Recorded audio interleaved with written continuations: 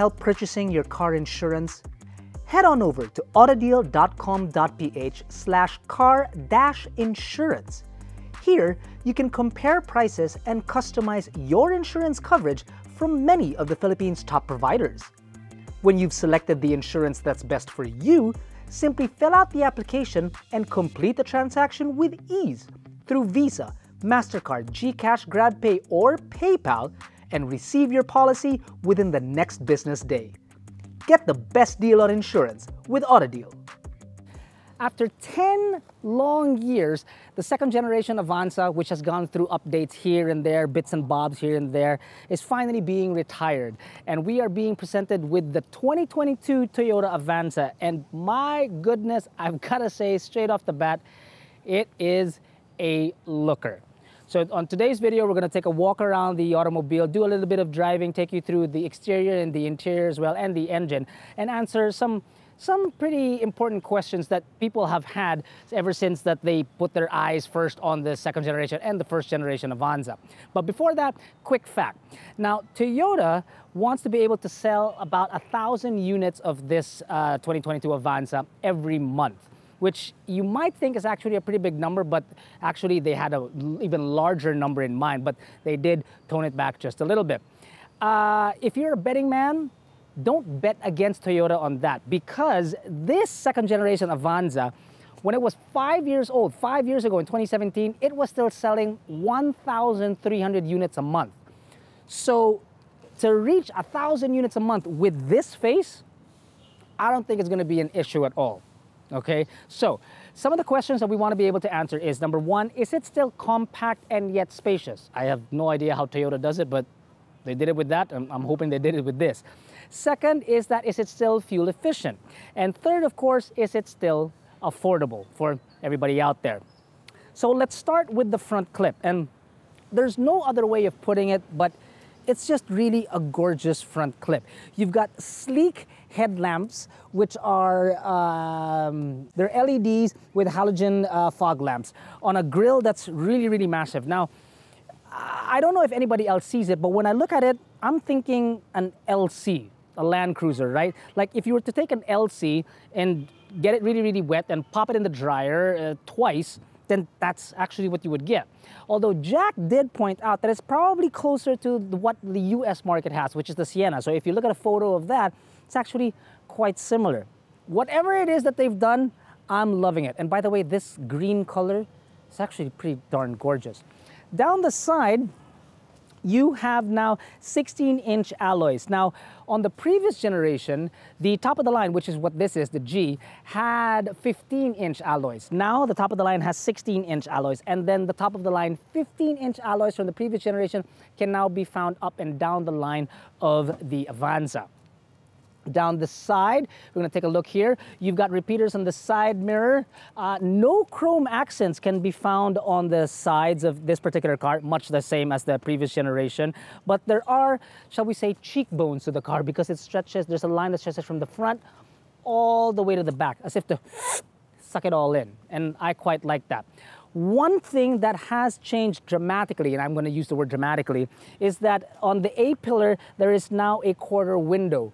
So it may not seem like much from the outside, but from the inside, as part, uh, uh, uh, unlike the previous generation, your, your view of the road from the inside is unimpeded thanks to this particular window here. It's, it's something so small, but the, the advantages that you get from it is just absolutely massive. Now, moving on to the rear, you'll notice that the lights back here are similar to that up front because it's it's sleek, it's slender, it's uh, it's newer really, and it looks absolutely great on the automobile. It's like Toyota took all what was big when it comes to their lights and shrunk it down to make it look sophisticated, and then took the rest of that real estate and shoved it on the front grille, which if you've seen it, right, it absolutely works. Then you've got a third brake light up here for maximum visibility and reflectors found down below. Now, uh, if you're wondering about the total size of the automobile, it is a little bit taller, a little bit wider, and also a little bit longer, but it's still compact nonetheless. It's not like the difference between an Avanza and an Innova. No, nothing like that at all. It's still definitely an Avanza in size. It's just that the wheelbase alone has increased by 105 millimeters. Now, that may not sound like much because it's really only about four inches, but that four inches translates to a lot of space inside, which I'm dying to show you. Oh, before we do, I need to show you the trunk space of this car, which is, I'm very excited about it. I'll, allow me to show you why. So the dimensions of the cargo space is roughly the same as the previous generation, possibly quite possibly a little bit less, only because in the previous generation, the third row, when tumbled, still kind of stuck out. This is the very first Toyota that I'm coming across in the Philippines that when you fold the third row, if I can actually figure out how, it actually folds flat completely flat. Look at that. None of this hanging to the side kind of a thing. None of this tumbling down where it stands out a little bit, eating cargo space. But look at it. It's completely flat. That may not be much to a lot of people, but to me, it speaks quite literally volumes and liters of volume. But anyway, so I would like to congratulate Toyota Philippines on that. That's a job well done. I love it. I absolutely, absolutely love it. Now let's go to the inside and show you what that possible 104 millimeters or four inches is like. So it's still a seven-seater MPV and as I get in, uh, the seats are roughly still the same. What's nice is that you sit a little bit taller, so that means your legs can come straight down, which gives you well, a, a, little bit more uh, leg room actually. And then the headroom is maybe about two, three inches. Um, what's nice is that back here now, the third row has a actually a 12 volt socket. Oh, I'm opening it the wrong way. A 12 volt socket and ball holders on either side. Now to move into the second row, which is actually pretty easy, uh, the one thing that you'll notice is that the seats are no longer 50-50 split like the previous generation.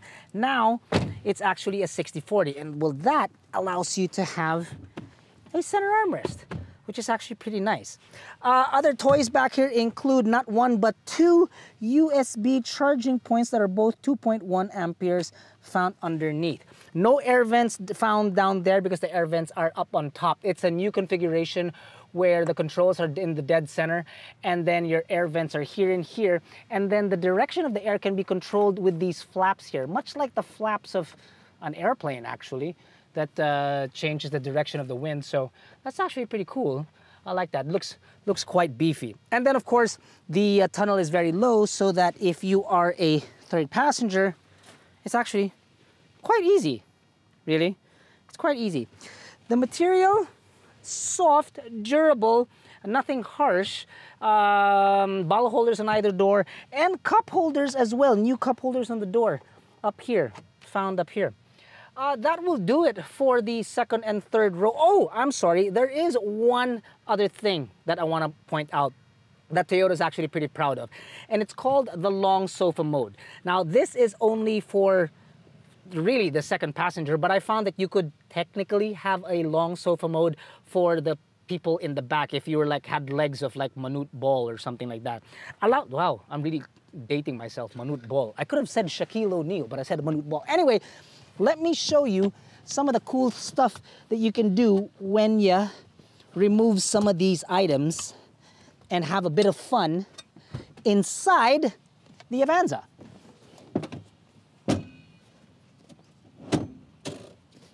So this isn't, Toyota did not say that I should do this, but I'm just gonna show you anyway, that if you fold the second row, you could actually stretch out, right? So if you have legs that are longer than Heidi Klum's, yet again, I'm carbon dating myself, you could actually stretch out and still put on a seatbelt while you do it. See? So that's just one. It's not very comfortable, but I'm just saying that it's possible. Now, the real long sofa mode is actually pretty darn cool. uh, I'm gonna, that's not it. I'm gonna return this to its proper position right there. So this is the space that I have. But then what's cool is that if you remove the headrest, Joey, could you come up front and help me? If you remove the headrest of that, that up front and then put that down, check me out. This is considered long sofa mode. Look, I can even put on my seatbelt. Now, normally I'd say that uh, this space is so big enough that you can Netflix and chill. But then I was just recently found out that Netflix and chill means something completely different. Only because I'm a boomer and I did not know.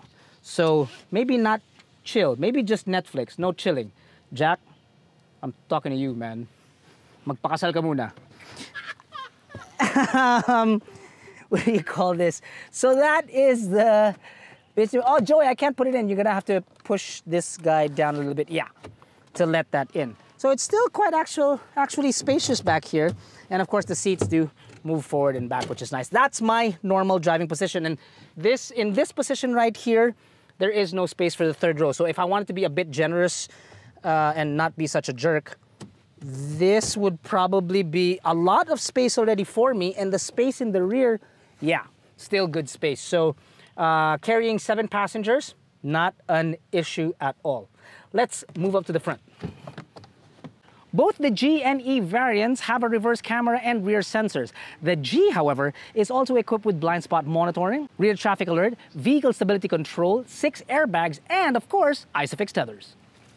Now, some of the biggest changes will obviously be for the driver and it's a completely new dash with new materials and whatnot. It's still plastic and still scratchy plastics, but at least uh, they feel a little bit better and it's a completely new design and it just, obviously it feels much newer. It doesn't feel as dated anymore and you don't see as much chrome inside this cabin as you did with the previous generation. You've got a lot of textures, a lot of different uh, colors as well that vary from dark black, dark black? No, just black and dark gray. Dark gray is what I was going at. So let's uh, give you a rundown of what it is exactly that I'm looking at. First and foremost, you have got analog gauges that flank a 4.1 uh, digital trip meter. You've got buttons on your steering wheel on a steering wheel that's similar to a Raize actually, now that I think about it. Oh, speaking of Raize, if you haven't seen our video of the walk around of Raize, which is actually pretty awesome, click somewhere on the screen, it, it, should be there. And the Raize is actually quite important to this Avanza, and I'll explain that to you closer to the end of the video. But anyway, yeah, shall we continue? Yeah. So, uh, buttons on your steering wheel for your trip and your audio controls. One of the biggest changes is this 10-inch uh, monitor, which is touchscreen. Uh, on the previous generation, it should have, it was kind of integrated, but it kind of looked like a block of ice that was sticking out, kind of a thing. Now it's actually a panel that kind of still sticks out a lot, but it's more like a panel. The thing though is, is it doesn't stick out way too much that you think it's actually gonna get in the way of your field of vision, which I actually thought when I first saw the automobile. But as I'm sitting here, I can tell you that the height of the panel doesn't go beyond this particular area of the dashboard, so that my view is still very much unimpeded. So you've got your Android and Apple capabilities in there, including your reverse camera. And then found underneath, or rather below that, is digital air controls, which I think is kind of swanky. Mm -hmm.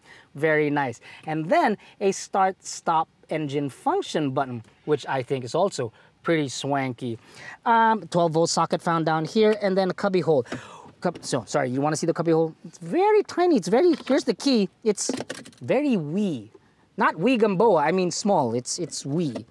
Um, the one thing I noticed is that um, the cup holder situation in here may have diminished by ever so slightly because I remember that there were like two or three cup holders up here, but they seem to have moved a few of them around the cabin and made it old school too because now you can chill your drink whilst it being secure inside the car. There's one there. There's a perpetual one here on the driver's side. And then, of course, bottle holders on either door. So we have answered the question that is it spacious? Yes, it's still definitely spacious inside a compact vehicle.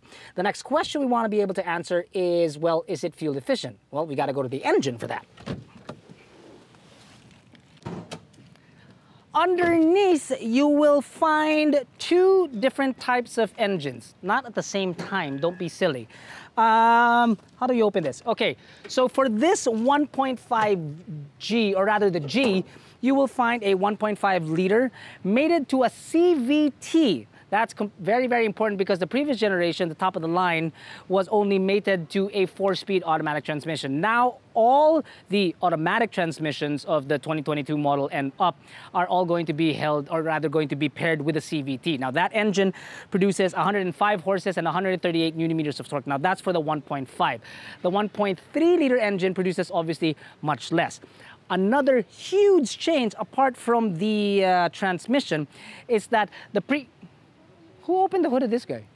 Anyway, the, the engine of that guy was longitude, it was lengthwise. Now it's crosswise, meaning the power is sent to the front wheels. A very, very big change. Now, this being the 1.5G, the top of the line, is not the most fuel efficient one that Toyota claims that they have, but it's darn close. Actually, the more fuel efficient one is the 1.3 liter uh, mated to a CVT. Now, claimed by Toyota, mixed with highway and city, it can do 20.8 kilometers per liter, which is redonkulous, and that's mixed city and highway. This 1.5G can do 20.4, so not that far. Does it do 20.4 uh, at all? Well, we're going to give you some figures. Uh, right now, as, of, as I was filming this right now, I have no idea. But anything close to that would be a miracle. Unfortunately, we're not going to get a lot of it because, well, it's the middle of the week and we are stuck inside Metro Manila, so there's traffic. But wait, speaking of traffic, why not? Let's test it. Let's go for a drive. Does anybody know we're going to take this for a car? That uh, we're going to take this for a drive? Did we tell Toyota? Let's, let's not tell them. Let's just, let's return it with a couple of hundred kilometers.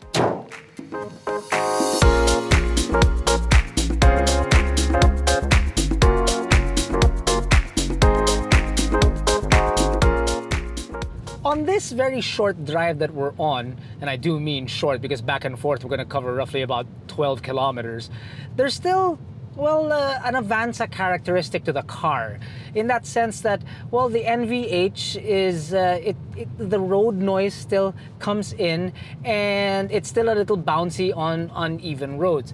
But the beauty about it is, is that it's gotten better. So it's not as bouncy and it's not as noisy. It's definitely an improvement to the previous generation. So there is definitely that.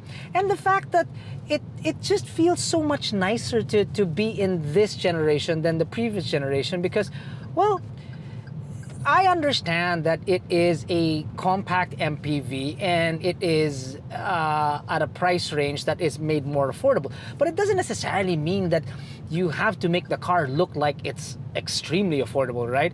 I'm not saying also it's upmarket, but it just, in general, you, you don't feel you don't feel luge is what I'm trying to get at when you're driving this automobile. It feels it feels pleasant to drive and and and oh the visibility I, I mentioned that earlier the the windows it, it really does help a lot. The windows are all of that wide, right? But the amount of, of visibility that it helps you uh, keep in constant contact with the road, it helps a lot. It helps quite a lot, actually. Those windows. Little, but awesome. I like them. The big question obviously will be fuel efficiency. So uh, I think it was perfect that we were stuck in this traffic that we're in now right now to try and figure out the fuel efficiency. So um, like I said, we've only traveled a total, will have traveled a total of like 12 kilometers. Um, the total time that we've traveled in these 12 kilometers would roughly be about I ain't messing around, about an hour and a half. So I guess from that you can gauge just exactly how bad traffic is. But in that amount of time and in that crawling pace, with 50% uh, of it, it was just me and Jack. The other 50, it's just me inside the car. The the trip computer tells me that we were doing about 9.9 kilometers per liter. So obviously, it's pretty darn good inside the city and heavy traffic. So I'm excited actually to see what it actually can do on the open road, like on the highway. I'm also excited to see just exactly how much quieter or even noisier it may have become out on the highway. it does not by any means necessary have a premium sound system. The speakers are factory, right?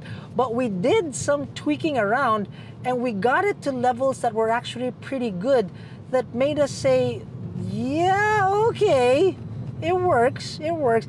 It's not like a system inside more expensive automobiles where you have Harman Kardon or Bose speakers and whatnot, but you know, it's for its price range, it's not bad. It's not really not bad at all.